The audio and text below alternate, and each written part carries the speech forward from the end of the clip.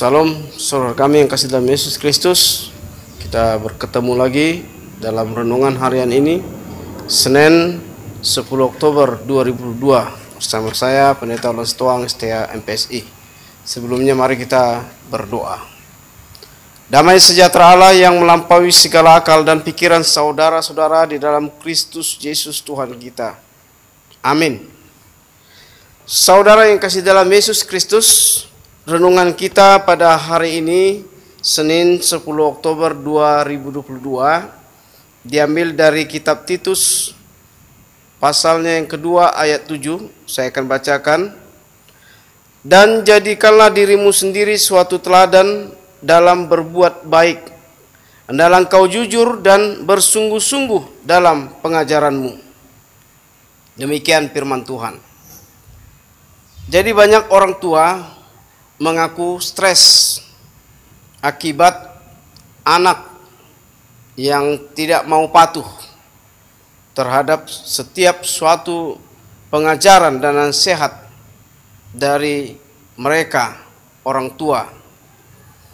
Tanpa disadari bahwa penyebab anak menjadi demikian ialah karena orang tua hanya mengajar dan menasihati tanpa pernah menjadikan anaknya sebagai teladan. Oleh karena itu, saudara kami kasih dalam Yesus Kristus, Bapak dan Ibu, menjadi teladan berarti menjadikan diri sebagai contoh bagi anak dalam kehidupan.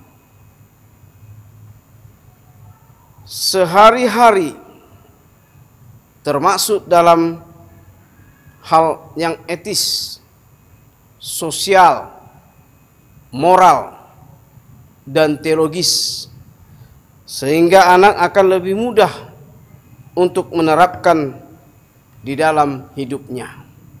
Ingatlah Bapak dan Ibu, saudara kami yang Yesus Kristus, kita jadikan Yesus Kristus teladan dalam hidup kita. Itulah yang sesungguhnya yang patut kita teladani dalam kehidupan kita. Amin. Kita berdoa. Allah Bapa kami yang maha pengasih dan penyayang, terima kasih Tuhan atas firman-Mu pada hari ini. Kau telah memberikan renungan yang begitu sangat ya Tuhan menyentuh hati dan pikiran kami sehingga kami boleh berbuat ya Tuhan dan bertindak sebagai teladan dalam kehidupan kami. Terlebih ya Tuhan orang tua yang menjadi contoh di tengah-tengah keluarganya agar mereka dicontoh anak-anaknya ya Tuhan.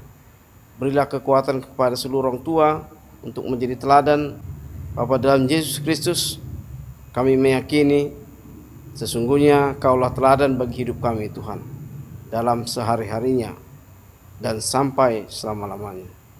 Bapa dalam Yesus Kristus inilah doa kami yang kami sampaikan hanya dalam nama-Mu Yesus Kristus juru selamat kami yang hidup. Anugerah Tuhan Yesus Kristus, kasih setia Allah Bapa dan persekutuan Roh Kudus memberkati engkau sekalian. Amin. Salam saudara. Terima kasih bagi kesempatan yang dapat mendengar renungan pada hari ini Senin 10 Oktober 2022 kiranya kita dapat bertemu kembali saya doakan kita semua diberkati dan sehat-sehat selalu salam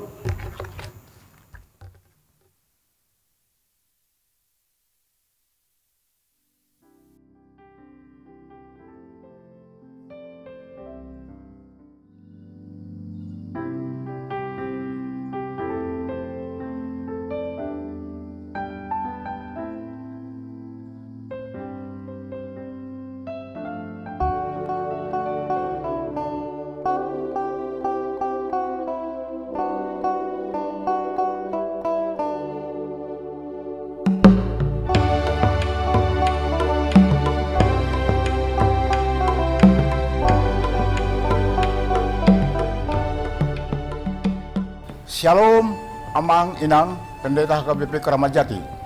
Penatua seluruh kategorial Napo Sebulung, Sekolah Minggu, dan semua jemaat HKBP Keramat Jati yang dikasihi oleh Tuhan.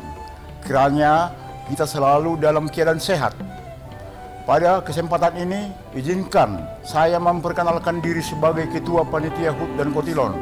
Atas nama Letnan Kolonel TMPC Mare-Mare, kami mengundang partisipasi dan kontribusi seluruh jemaat, baik dalam doa, kesatuan hati, pikiran, dan khususnya dukungan dana. Apabila Amang Inang, saudara-saudari ingin memberikan dukungan berupa dana dapat transfer ke rekening panitia HUT dan Kotilon HKBP Keramajati tahun 2022 yang tertera di bawah ini. Bank Mandiri atas nama Sahat Ranto Hasiholan. Besar harapan kami acara ini dapat terselenggara dengan lancar, damai, hikmat, dan sukacita. Terima kasih atas perhatian dan dukungannya. Semoga kita semua selalu dalam tuntunan tangan Tuhan Yesus Kristus. Salam sehat untuk kita semua. Shalom. Oras.